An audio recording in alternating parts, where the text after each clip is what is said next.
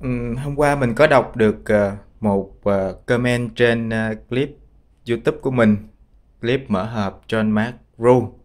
Thì ờ, có bạn nhờ mình thử so sánh hai lo John McEnroe và lo John Mark T6 với Mega nữa xem ừm, công suất của tụi nó sẽ như thế nào.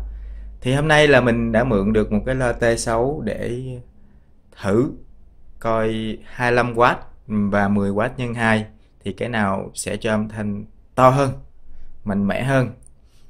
Thật ra thì à, mình chưa mượn được Mega nên mình sẽ làm thử T6 trước thôi. Thôi vô luôn nha các bạn. Rồi, bật MT6 lên. mắc volume luôn.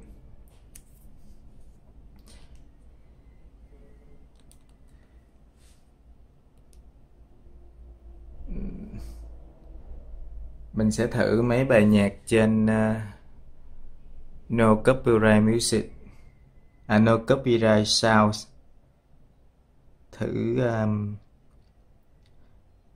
Apromedic của Titan mình cũng không biết đây là thể loại nhạc gì. Cứ nghe đại coi. Đầu tiên là mình sẽ thử uh, hai lo này trước hai lo ru trước.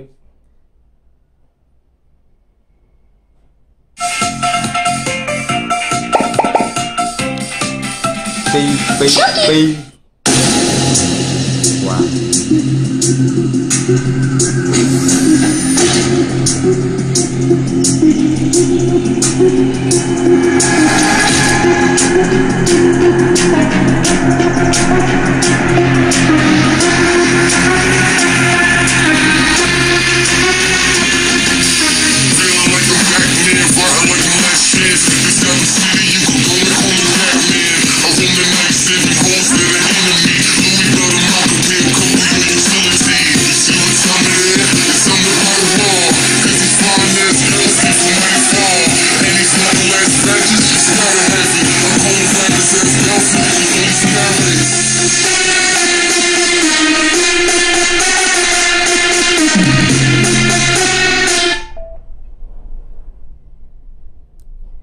đi da mình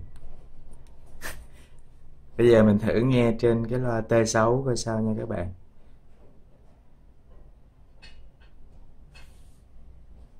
Rồi, đã kết nối. Mất volume luôn.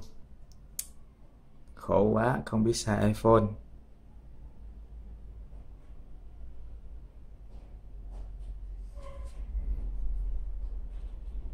Chuẩn bị nha các bạn. Thank you.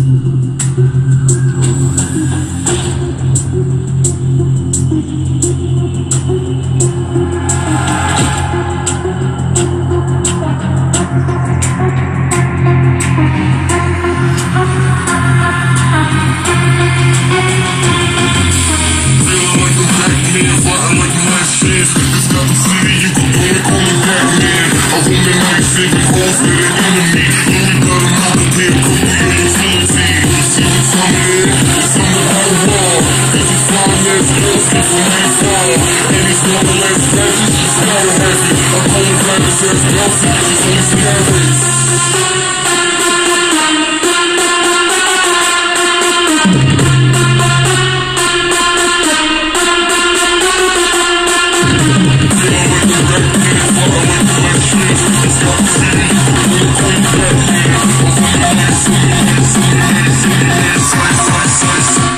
Fuck up.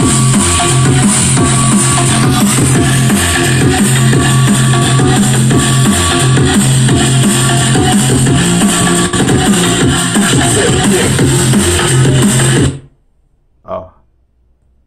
Tắt luôn rồi Thử nghe lại hai thằng này coi Hmm.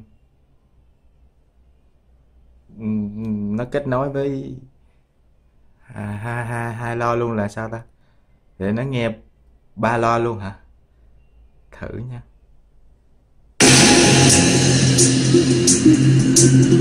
À nó chỉ nghe trên lo ru thôi các bạn.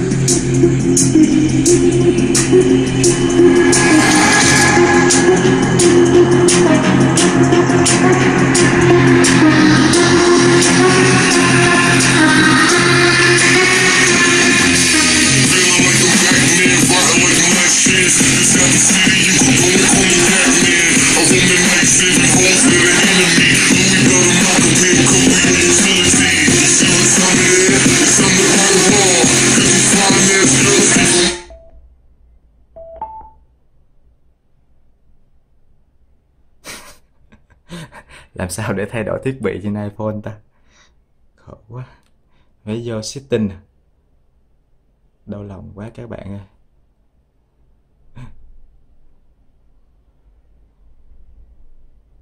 Rồi nó qua lại T6 rồi đó.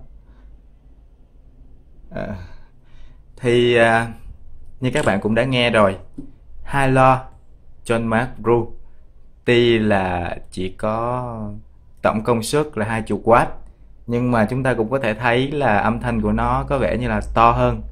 T6 mình không biết là do cái việc uh, uh, để loa hay là do hai lo nó nằm hai bên thì cái hiệu ứng âm thanh nó vào tai mình nó sẽ to rõ hơn hay là sao đó. Nhưng mà nói chung là nếu như các bạn muốn nghe nhạc thì mình thấy là hai John Mark Room có vẻ như là một sự lựa chọn tốt hơn là một lo John Mark T6.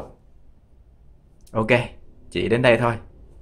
Cảm ơn các bạn đã theo dõi. Nhớ like và subscribe kênh của mình nha các bạn.